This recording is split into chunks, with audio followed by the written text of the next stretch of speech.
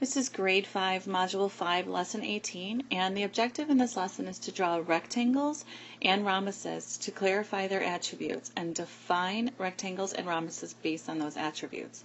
So uh, the definition of a rectangle is a quadrilateral with four right angles, and a rhombus is a quadrilateral with all sides of equal length.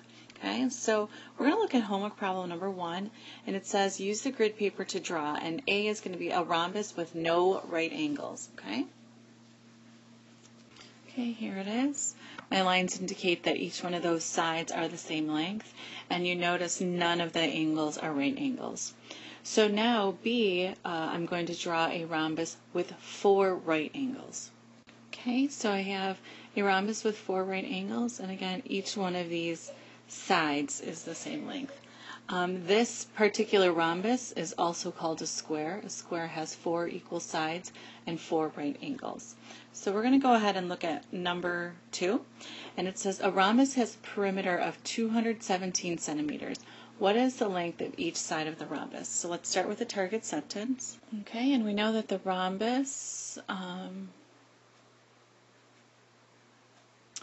pretend each one of these sides is the same. The perimeter is adding all of them together, so um, each one of the sides is going to be the same length. So adding them together gives me 217.